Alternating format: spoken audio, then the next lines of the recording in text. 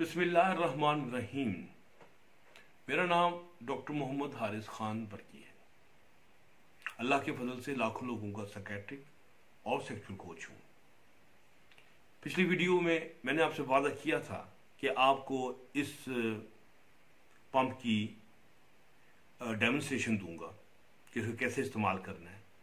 اور اس کا جو گیج ہے، اس سسٹم کے متعلق بھی آپ کے ساتھ ڈسکشن ہوگی۔ تو سب سے پہلے میں آپ کو یہ پمپ کی شکل دکھاؤں جو ماڈرن پمپ ہے، اس میں کیا چینجز ہیں؟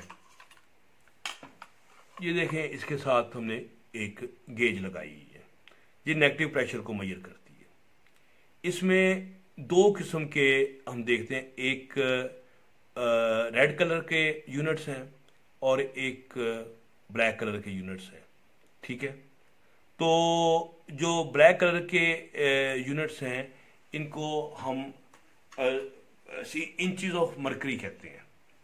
تو ہم نے بتانا ہے کہ انچیز آف مرکری کے ساتھ ساتھ آپ نے کتنا پریشر جو ہے وہ رکھنا ہے، ٹھیک ہے؟ نفس کے لیے۔ اور اس کو کس طرح استعمال کرنا ہے، میں ابھی آپ کو یہ سارا ایکسپلین کرتا ہوں۔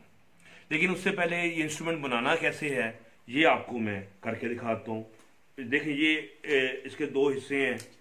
یہ سلنڈر ہے اور یہ پمپ ہے۔ سلنڈر کے ساتھ یہ ٹیوب لگا دی، ایک منہ اور دوسرا ادھر لگا دیا، آپس میں یہ کنیکٹ ہو گئے۔ اور یہ رنگ ہے۔ یہ یہاں پہ لگا دیتے ہیں تاکہ وہ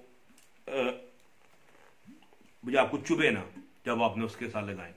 ٹھیک ہے؟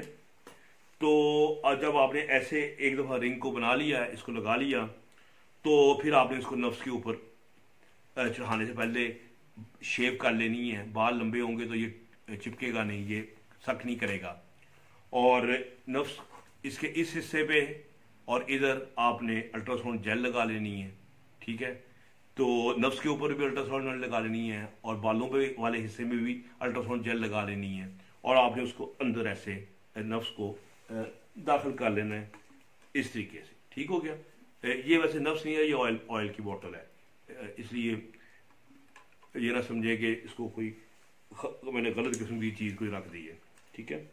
اچھا جی۔ اب یہ دیکھیں، یہ میں نے پیٹ کے ساتھ لگایا وہاں بجائے اس کے۔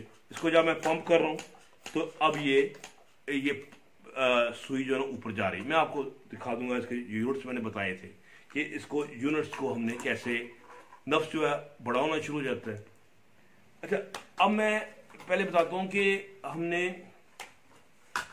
ان یونٹس کو کیسے یوز کرنا ہے پینس کی ریپیئر کے لیے۔ کیونکہ میرے لیے زیادہ امپورٹنٹ جو جس کا میں نے فنکشنز کا تلاش کیا وہ ریپیئر کا ہے۔ کیونکہ پوری باڈی کے جو آرگنز ویسلز خراب ہیں تو یہ زیادہ خراب ہے۔ تو ریپیئر کے لیے آپ نے پہلے ایسے کرنا ہے کہ آپ نے لگا کے اس کو پمپ کرنا ہے اور ذہن میں رکھنا ہے کہ پمپ کو آہستہ آہستہ پمپ کرنا ہے۔ تھوڑا سا پمپ کریں بلڈ اندر جائے گا، کیونکہ ویسلز بریک ہیں، آہستہ سے جائے گا۔ نفس تھوڑا کھڑا ہو جائے گا۔ پھر تھوڑا اور پمپ کریں، تو ویسل اور اوپر جائے گا۔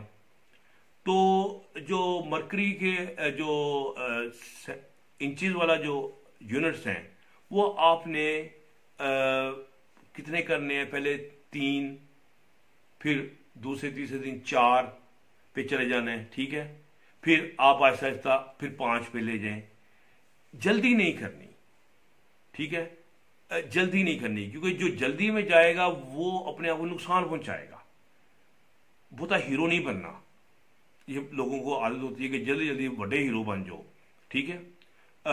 اس سے آپ کے نقصان ہونا شروع ہو جائے گا فائدے کی بجائے، اور سلو ہم نے سلو جانا ہے۔ سلو ایسے جانا ہے جیسے لڑکی کو گرم کرتے ہیں سلولی اسی طریقے سے ہم نے اس کو سلولی لے کے جانا ہے۔ پہلے دو، تین یونٹ پہ، پھر چار پہ پانچ پہ۔ پھر جو میکسیمم الاؤڈ ہے وہ سات منٹ سات تک ہے، ٹھیک ہے نا؟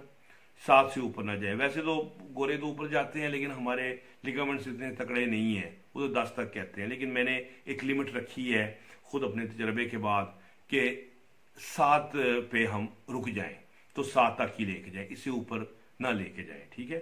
اور پھر آپ نے شروع شروع کے مہینے میں کوئی دس منٹ کے لیے روکنا ہے، ٹھیک ہے؟ پھر اس کے بعد جب گزر جائیں آپ کے دو مہینے تو پھر آپ اس کو پندرہ منٹ پہ لے جائیں۔ ٹھیک ہے؟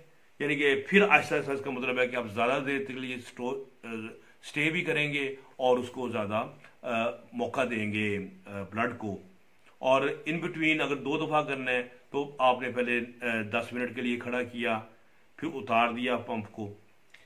جب میں نے بتایا تھا کہ یہ جب ایک دفعہ پمپ کر لیتے ہیں، جیسے، تو جو چپک گیا، وہ بڑا ہو گیا، تو پھر جب آپ نے ختم کرنا ہے تو یہ یہ یہ ہے۔ ویل، اس کو دبائیں گے تو کر کے باہر آ جائے گا۔ وہ اپنا اتر جائے گا۔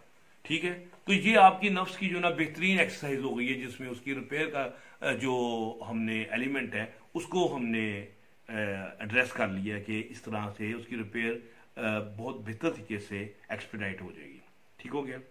اچھا پھر ہم آتے ہیں کہ اس کو ہم نے کس طریقے سے ویسے نفس میں اکڑاؤ کم ہے اور اس کو رنگ کو کیسے استعمال کرنا ہے؟ تو اس کے لیے آپ کو میری اگلی ویڈیو دیکھنی پڑے گی۔ تب تک کے لیے میرے، اگر چینل کو سبسکرائب کریں تو بڑی مہربانی ہوگی۔ تو انشاءاللہ تعالی اگلے ہفتے اب ملاقات ہوگی۔ میں بتاؤں گا کہ رنگ کو کیسے چڑھانا ہے۔ اور پھر اس کو کیسے استعمال کرنا ہے تب تک کے لیے خدا حافظ۔